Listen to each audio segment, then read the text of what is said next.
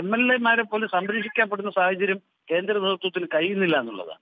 അതുകൊണ്ട് വളരെ വ്യക്തമായി മനസ്സിലാക്കേണ്ട ഈ കർണാടക തെരഞ്ഞെടുപ്പിന്റെ മെസ്സേജ് ഞാൻ മനസ്സിലാക്കുന്നത് പ്രാദേശിക വിഷയങ്ങളിൽ കോൺഗ്രസ് നേതൃത്വം സ്വീകരിച്ച നിലപാടുകൾ. ന്യൂനപക്ഷങ്ങൾ കോൺഗ്രസിന് അനുകൂലമായത്. അതുപോലെ തന്നെ സമുദായങ്ങൾ ലിംഗായത്ത് സമുദായം ഉൾപ്പെടെ അവിടെ അനുകൂലമായത്. ഈ അനുകൂലമായ ഘടകങ്ങളാണ് കോൺഗ്രസിന് അവിടെ വിജയിക്കുന്നത് ശരി. ശ്രീ സന്തോഷ് എങ്ങനെ ഈ ഘടകങ്ങൾ കോൺഗ്രസ് അനുകൂലമാക്കി എന്നുള്ളതല്ലേ ചോദ്യം? ആ. താങ്കൾ പറഞ്ഞു പല വിഭാഗങ്ങളും ന്യൂനപക്ഷങ്ങളും മത സാമുദായിക ശക്തികളും ഒക്കെ അനുകൂലമായി എന്ന് പറയുമ്പോൾ കോൺഗ്രസ് എങ്ങനെ ഇവരെ അനുകൂലമാക്കി? കോൺഗ്രസിന്റെ പ്രകടന പത്രിക വാഗ്ദാനങ്ങൾ അല്ലെങ്കിൽ ബി ജെ പിയെ കവച്ചു വെച്ചുള്ള നീക്കങ്ങൾ ഇതൊക്കെ എങ്ങനെ സാധിച്ചു? അല്ല ഞാൻ ഒരു കാര്യം മനസ്സിലാക്ക ഒരു കാര്യം നമ്മൾ മനസ്സിലാക്കേണ്ടത് ഈ സ്ഥാനാർത്ഥി സാറാമ എന്നൊരു സിനിമയുണ്ട്. ആ സിനിമയിൽ പറയുന്നുണ്ട് തോട്ടിൻകരയിൽ വിമാനം ഇറങ്ങാൻ താവളം ഉണ്ടാക്കാന്ന്. കോൺഗ്രസ് തെരഞ്ഞെടുപ്പ് സമയത്ത് പറയും വീട്ടുമുറ്റത്ത് വിമാനം ഇറക്കാൻ താവളം ഉണ്ടാക്കാത്ത പറഞ്ഞ് പ്രചരിപ്പിച്ചു. പക്ഷെ അത് ജനങ്ങൾ വിശ്വസിച്ചു. മാത്രമല്ല ജനതാദളിന് മുപ്പത്തേഴ് സീറ്റ് ഉണ്ടായിരുന്നു ഇപ്പൊ മനസ്സിലാക്കുന്ന ഇരുപത്തൊന്ന് സീറ്റിലേക്ക് കുറഞ്ഞു എന്നാ പറയുന്നത്. ആ ജെ ഡി എസിന്റെ ന്യൂനപക്ഷ വോട്ടുകൾ ഒരു പക്ഷേ സെക്കുലർ ജനതാദളിനെ സഹായിച്ചിരുന്ന. ഈ സമയം പിന്നെ കോൺഗ്രസിനെ സഹായിച്ചു. രാഷ്ട്രീയമായി നമ്മൾ കാണേണ്ട അതാണ്. കർണാടകയിൽ ജെ ഡി എസിന്റെ വോട്ട് കുറയുകയും വോട്ടിംഗ് ശതമാനം കുറയുകയും ന്യൂനപക്ഷങ്ങൾ ഉൾപ്പെടെ സാമുദായിക സംഘടനകൾ ഉൾപ്പെടെ കോൺഗ്രസിന് അനുകൂലമായി താങ്കൾ പറഞ്ഞു താങ്കൾ പറഞ്ഞു രാഹുൽ ഗാന്ധിക്ക് ഈ ഒരു വിജയത്തിൽ പങ്കില്ല എന്ന്. അദ്ദേഹത്തിന്റെ ഭാരത് ജോഡോ യാത്രയൊക്കെ കോൺഗ്രസ് എടുത്തു കാട്ടുന്നുണ്ട്. ഒപ്പം അത് വലിയ രാജ്യത്ത് തന്നെ വലിയ ഒരു ചലനത്തിന് സാധ്യമാക്കിയ ഒരു സംഭവ വികാസങ്ങളാണ് അതിനെ തുടർന്ന് ഉണ്ടായത്. പിന്നെ രാഹുൽ ഗാന്ധി കോലാറിൽ നടത്തിയ പ്രസംഗത്തിന്റെ പേരിൽ അദ്ദേഹത്തിനെതിരെ കേസെടുത്തത്. ഇതൊക്കെ ഒരുപക്ഷെ ആ ജനതയെ ചിന്തിപ്പിച്ചിട്ടുണ്ടാവും.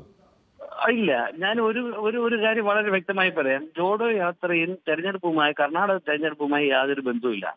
അങ്ങനെയാണെങ്കിൽ അത് കഴിഞ്ഞ് പല സംസ്ഥാനങ്ങളിൽ തെരഞ്ഞെടുപ്പ് നടന്നല്ലോ. അവിടെ എന്ത് പറ്റി? അപ്പൊ ജോഡോ യാത്രയൊന്നുമല്ല. പക്ഷേ രാഹുൽ ഗാന്ധിക്കെതിരെ ഒരു പക്ഷേ ഈ കേസെടുത്തതുമായി ബന്ധപ്പെട്ട് വരുന്നത് ന്യൂനപക്ഷങ്ങളിടയിൽ ചിലപ്പോ കുറച്ച് കോൺഗ്രസിന് അനുകൂലമാക്കുക അത് ശരിയായിരിക്കും. അത് ഒരു പരിധി വരെ രാഹുൽ ഗാന്ധിക്കെതിരെ കേസ് വന്നത് ഒരു പിന്നെ ന്യൂനപക്ഷങ്ങളിടയിൽ രാഹുൽ ഗാന്ധിയോട് ഒരു സഹതാപം ഉണ്ടായിരിക്കാം. അത് ചിലപ്പോൾ കോൺഗ്രസ് അനുകൂല അല്ലാതെ രാഹുൽ ഗാന്ധിയുടെ ജോഡോ യാത്ര ഒന്നും ഇന്ത്യയിലെ അതൊന്നും വോട്ടാക്കി മാറ്റാൻ കഴിയുന്ന സംഭവം ഒന്ന് ഒന്ന് ഇന്ത്യ അറിയുന്നവരായിരിക്കണം നേതൃത്വം. കോൺഗ്രസ് നേതൃത്വം ആരാ നമ്മളൊന്ന് ചിന്തിക്കുക. സോണിയാഗാന്ധി രാഹുൽ ഗാന്ധിയും അതുപോലെ തന്നെ പ്രിയങ്ക ഗാന്ധിയും ഇവർ മൂന്ന് പേർ നേതൃത്വം കൊടുക്കുന്നതാണ്. ഞാൻ അതാ ചോദിച്ചത് നരേന്ദ്രമോദിയോടൊപ്പം ഫോട്ടോ കൊടുക്കേണ്ടത് കോൺഗ്രസിന്റെ പ്രസിഡന്റിന്റെ അല്ലേ? ഇന്ത്യൻ നാഷണൽ കോൺഗ്രസിന്റെ പ്രസിഡന്റിന്റെ ഫോട്ടോ ഉണ്ടോ? ഇന്ത്യൻ നാഷണൽ കോൺഗ്രസിന്റെ പ്രസക്തി ഉണ്ടോ? അല്ല ദേശീയ നേതാക്കൾക്ക്. അവിടെ പ്രസക്തി ഉണ്ടോ? അവിടെയെല്ലാം നമ്മൾ കാണുന്നത് രാഹുൽ ഗാന്ധിയാണ്. ഖാർഗെ അവിടെ നിന്നുള്ള നേതാവ് തന്നെയല്ലേ?